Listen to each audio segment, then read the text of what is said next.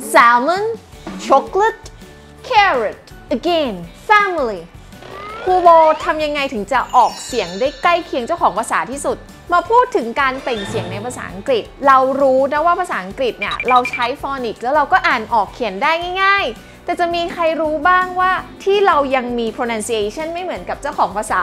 เพราะเรายังไม่เข้าใจเจ้าเสียงเสียงหนึ่งที่มันแทรกอยู่ในคำภาษาอังกฤษเยอะแยะมากเลย แต่มันไม่มีรูปด้วยนะ เสียงนั้นก็คือ คลิปนี้มีคำตอบนะคะ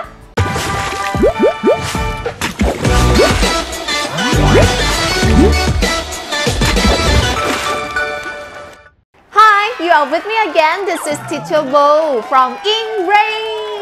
เสียงชัวเป็นเสียงสระที่แทรกอยู่ในคำศัพท์ภาษาอังกฤษมากมายเลยทีเดียว แต่มันไม่มีรูปสะกดนะ English is not a phonetic language ภาษาอังกฤษไม่ใช่ภาษาที่สะกดตามรูปอย่างที่เราเห็นเสมอไป เพราะฉะนั้นเสียงชัวเนี่ยมันไม่มีรูปนะคะ แต่ว่ามันแทรกซึมอยู่ในทุกคำสระทุกตัวที่เด็กๆเห็นไม่ว่าจะเป็น a a e o a a a e o a สระเสียงสั้นต่างๆ หรือพวกสระเสียงยาว a e i o u a e i o u มันก็จะไม่ได้ออกรูปตรงเสมอไปนะคะ เพราะว่ามันมีเสียงเจ้าชัวตัวนี้ทำงานอยู่ชัวมักจะเกิดขึ้นในคำสองพยางค์ขึ้นไปนะคะ และเกิดในตำแหน่งที่เราไม่ได้สเตรสหรือไม่ได้เน้นเสียงนั่นเอง ยกตัวอย่างคำแรกนะคะคำว่า salmon salmon เด็กๆฟอนิกก็จะอ่านว่า s a อืมอออึน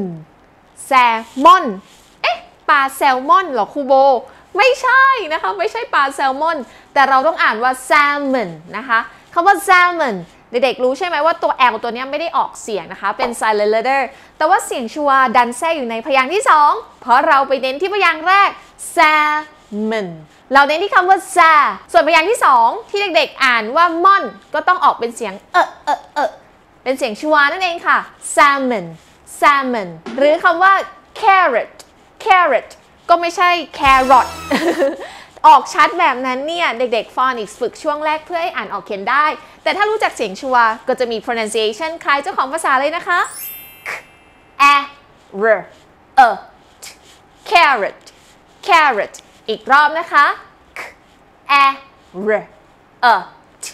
carrot carrot มาดูอีกคำค่ะ คือคำว่า again again ง่ายเลยใช่ไหม เราเน้นที่คำว่า gain ดังมากเลย เพราะฉะนั้นพยางค์แรกก็ต้องกร่อนเป็นเสียงชวาค่ะ เป็น again เออเออเออเออเกิด a อื่น gain อีกคำหนึ่งค่ะ about about เราเน้นที่คำว่า about นะคะ เพราะฉะนั้นพยางค์แรกก็จะเป็น เออออกเสียงเป็นสระเออนั่นเอง about about about about หรือคำว่า family family เรา stress ที่พยางค์แรกนะคะ คือคำว่า fam a m fam และใส่เสียงชวาไปในพยางค์ที่สอง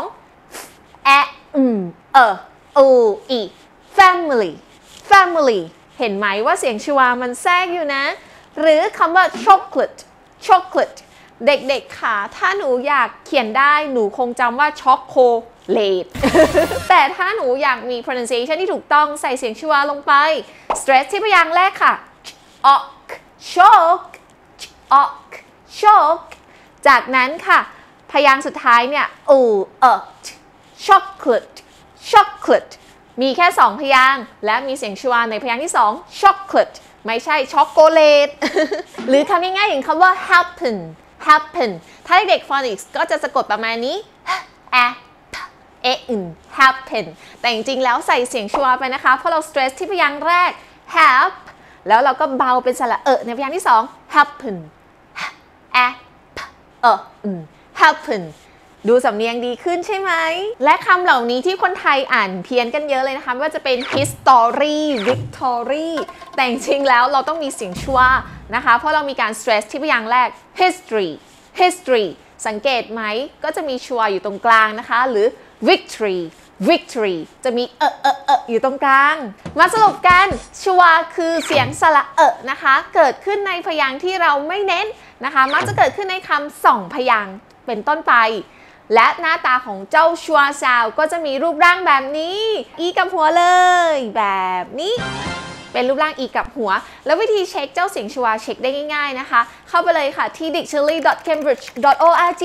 เด็กๆก็จะเห็นสัญลักษณ์ เจ้าชัวแทรกอยู่ใน pronunciation การออกเสียงด้วยสัญลักษณ์ phonetics นะคะ แบบนี้ใต้คำศัพท์นั้นๆเลยนะคะ และครูโบให้ทริคไปแล้ว มันจะเกิดในพยางค์ที่เราไม่เน้นนะคะ ถ้าเรารู้จัก stress mark หรือเครื่องหมายเน้นแบบนี้ เราก็จะเข้าใจเจ้าเสียงชัวได้มากขึ้นคำใดในภาษาอังกฤษมีเสียงชัวอีกบ้างเด็กๆพิมพ์มาใต้คอมเมนต์บอกครูโบนะคะ แล้วครูโบจะทำคลิปสอนออกเสียงให้เพิ่มเติม และปัญหาเด็กไทยอ่านไม่ออกเขียนไม่ได้มันจะหมดไปด้วยรักจากใจครูโบอิงเบรนพบกันใหม่คลิปหน้า I see you in the next episode video bye หากทุกคนชอบการสอนฟอนิกส์แบบนี้ และไม่อยากพลาดเทคนิคที่ทำให้เด็กไทยอ่านออกเขียนได้ โดยไม่ต้องท่องจำหลักการ phonics มีเทคนิคอะไรบ้าง ที่เด็กๆควรจำเป็นต้องรู้ อย่าลืมกดติดตามช่อง EngBrain เทรนเด็กไทยให้พูดอังกฤษคล่อง ครูโบมีสาระความรู้ และเทคนิคการสอนมากมาย ที่กลั่นกรองจากการเป็นครูมากกว่า 10 ปี และดูแลนักเรียนมีผลลัพธ์มากกว่า 10,000 คน กดติดตามช่องนี้และกด subscribe ไว้นะคะ และจะไม่พลาดความรู้ดีๆ ที่ทำให้เด็กไทยอ่านออกเขียนได้ ไปด้วยกัน แล้วปัญหาเด็กไทย อ่านไม่ออกเขียนไม่ได้ มันจะหมดไป ด้วยรักจากใจ ครูโบ อิงเรน